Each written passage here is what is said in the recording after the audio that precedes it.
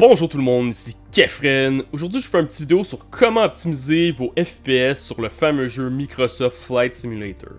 Euh, juste pour commencer, juste pour vous dire, le jeu euh, prend beaucoup de ressources sur votre ordinateur, donc c'est normal en ce moment si vous avez des problèmes de le rouler. Euh, il y a beaucoup de complexité aussi à ce jeu-là, de la manière qui a été fabriqué. Donc je, vais vous expliquer un peu ça. c'est sûr que pour avoir plus d'FPS, il va falloir enlever beaucoup de trucs. Euh, puis vous allez perdre des options qui sont quand même très intéressantes pour un, simulateur d'avion. Donc ça va être à vous de faire le choix entre FPS ou qualité visuelle. Donc première des choses, ben, le fameux Game Mode, enlevez-moi ça. Donc on écrit Game Mode ici dans le search bar. Euh, mode jeu si votre Windows est en français. Écrivez, euh, mettez ça à off comme ça. La Game Bar, la même chose, le Xbox Game Bar à off. Si vous avez d'autres overlays aussi, enlevez tout ça, que ce soit Discord, Steam, euh, Nvidia, c'est tous des overlays AMD qui peuvent euh, créer des stuttering et vous faire perdre des FPS. Au niveau de la capture, même chose, background recording à off, recorded audio à off. Et euh, c'est tout pour ceci. Si vous avez la dernière version de Windows avec les derniers drivers de Nvidia, écrivez GPU. Vous allez avoir une option Graphic Setting. Cliquez dessus. Et assurez-vous d'être à on ici pour le Hardware Accelerated GPU Scheduling. Euh, j'ai une autre vidéo qui explique exactement ce que ça fait. Si vous ne l'avez pas activé, vous allez devoir redémarrer votre ordinateur pour que ça s'applique. Une autre chose très importante, si vous avez euh, par exemple euh, AMD, Nvidia, etc. Je ne sais pas du côté d'AMD, mais aujourd'hui, Nvidia a sorti des drivers exprès pour Flight Simulator. Il y, a quand même une différence, c'est à peu près 8% dans vos FPS, donc très important d'avoir la dernière mise à jour de votre GeForce Experience, donc les drivers de votre carte vidéo. Dernière petite chose, à l'endroit que vous avez installé votre jeu, donc ça dépend, si vous l'avez sur la Game Pass, c'est un peu différent que sur euh, Steam. Sur Steam, vous avez juste à clic droit, propriété, allez dans Local File, cliquez Browse Local File, et ça va vous montrer où votre jeu est installé. Vous allez dans le fichier finalement le, EXE, donc il va s'appeler Flight Simulator, vous allez voir qu'il pèse euh, beaucoup, le 324 MB. Clique droit dessus, propriété. On va aller dans compatibilité.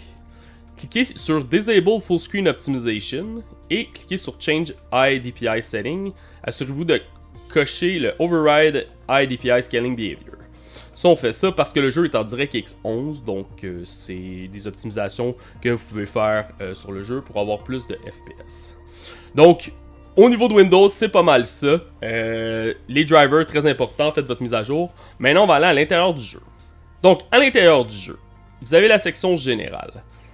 Là, en gros, il y a beaucoup de, paramètres graphiques. J'ai fait beaucoup de tests, puis honnêtement, oui, il y a beaucoup de paramètres graphiques, mais ça change pas tant vos FPS. Donc, euh, je vais vous dire en gros qu'est-ce qui a le plus d'impact, qu'est-ce que vous devez changer, puis qu'est-ce que, honnêtement, j'ai pas vu tant de différence. Donc, on va commencer avec le V-Sync. Moi, je le débloque complètement, parce que premièrement, quand il est à on, pour une raison que j'ignore aussi, il est bloqué à 60. Donc, moi, je veux plus que 60 FPS, donc je le mets à off. Euh, render scaling, ben ça en gros ça va prendre la résolution que vous roulez votre jeu. Euh, puis ça va finalement faire un downscale. Donc moi je vous conseille pas ça, vous allez voir vraiment que vous allez perdre rapidement de la qualité visuelle. Donc, sais, vous pouvez peut-être l'essayer à 95-90, ça va vous donner un 3-4 FPS de plus, mais c'est pas recommandé. Je vous conseille même de, changer, de baisser votre résolution si vraiment vous avez un problème à rouler le jeu. Très important aussi, allez-y pas en window mode, assurez-vous d'être en full screen, mais par défaut il est à full screen, donc touchez pas à ça. Au niveau de l'anti-aliasing, honnêtement, j'ai fait le test en TAA, DLAA, FXAA et même l'enlever complètement. Entre TAA et l'enlever complètement, j'avais une différence de 1 FPS. Donc, pour moi, ça vaut pas la peine. Euh, j'ai testé ça sur une RTX 2070.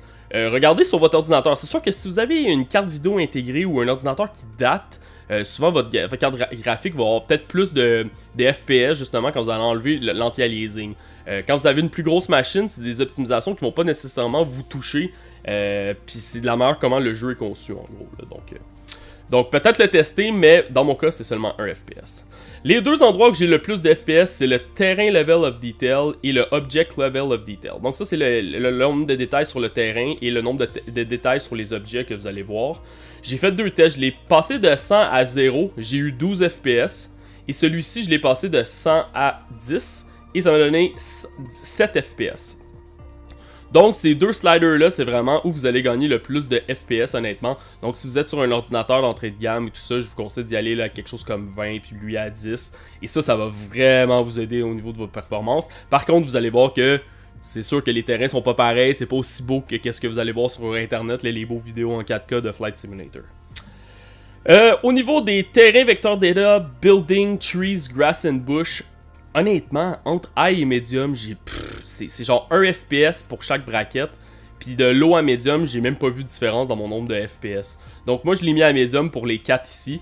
Euh, ça m'a fait gagner à peu près 4 FPS. On s'entend là, si moi je, roule le jeu en, ici dans la section euh, Global Rendering, là, je vais pas le faire parce que ça va changer mes paramètres. Mais si je le mets en high-end, ce qui me recommande, je roule le jeu entre 57 et 60 FPS en 1080p. Donc c'est sûr que si vous êtes habitué de jouer à des jeux comme Valorant, Rainbow Six, des trucs comme ça, vous allez trouver ça atroce. Mais honnêtement, dans un simulateur d'avion, ça m'a pas trop dérangé. Donc, euh, moi, les, paramètres que je vous dis de changer, c'est vraiment pour les gens qui sont à 20 FPS, 25, 30. Là, ça doit être un peu plus chiant à jouer. Donc, euh, les deux sliders, c'est comme ça que je vous les conseille. Par la suite, Volumetric Cloud, ça, il y a quand même un bon impact. De high à low, j'ai vu une différence de 3 FPS. Donc, celui-là, je vous conseille de le mettre à low. Par la suite, tout ce qui est texture résolution, anisotropic filtering, texture super sampling, texture synthétisis, ça, ça va vraiment dépendre de votre VRAM sur votre carte vidéo. Si vous avez en haut de 6 GB, vous allez facilement pouvoir faire du i8X 4x4 et euh, du i ici. Si vous avez euh, quelque chose comme 4 GB, je vous conseille d'y aller, on coche une, barre finalement, une, euh, un scale de moins, là, donc euh, vous faites juste appuyer sur Medium, 4x, 2x2, puis si vous avez en bas de 4 GB, je vous conseille d'y aller vraiment en low, 2x, off, et allez-y à low ici. Euh, c'est comme ça en fait que je vous conseille de, le faire parce que le jeu prend excessivement de VRAM, c'est vraiment abusif. Là. sur moi sur ma carte, il prend 7 GB de VRAM quand je le mets au maximum, donc c'est énorme pour un jeu de ce type. Donc dans mon cas, on va remettre ça comme c'était. Ah aïe. Water Waves. Euh, celui-là, je vous conseille de le mettre à, medium. Honnêtement, ça, c'est vraiment si vous, vous rapprochez de l'eau avec votre avion. Si vous voyez, vous avez des gros drops d'FPS. C'est probablement à cause de celui-ci. Donc, allez-y avec l'eau. Mais normalement, à medium, vous allez avoir, honnêtement, ça devrait être bien. Vous devriez avoir peut-être euh, une baisse de 3 FPS maximum. Mais vous allez quand même avoir une qualité au niveau de l'eau.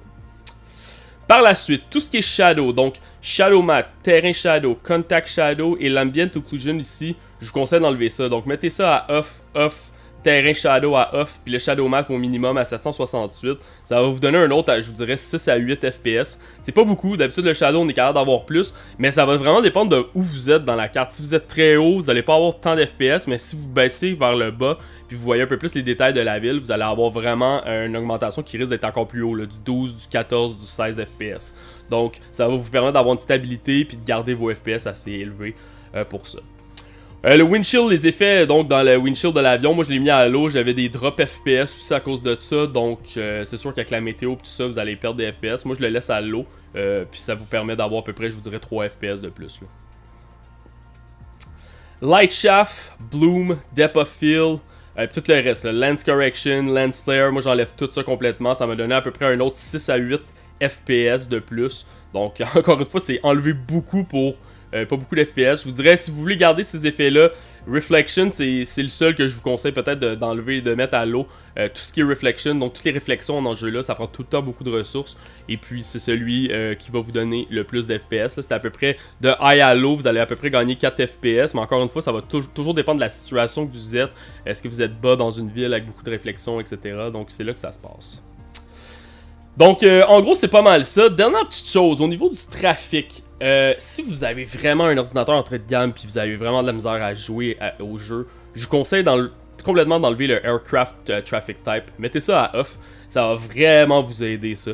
Euh, puis tout ce qui est genre la densité des véhicules dans l'aéroport, les workers densité, mettez tout ça au minimum honnêtement. Si vraiment là, vous jouez sur un ordinateur vous avez vraiment de la misère avec vos FPS, partout au minimum comme ça, ça va vraiment vous aider éviter le AI offline. J'ai essayé ça, j'ai comme perdu la moitié de mes FPS. Fait que je sais pas si présentement il est buggé. Mais ça, ça tue mon ordinateur en ce moment. Puis on s'entend, le jeu Ryzen 3900X avec une RTX 2070. Donc évitez celui-ci. Je vous conseille le real time ou de l'enlever complètement.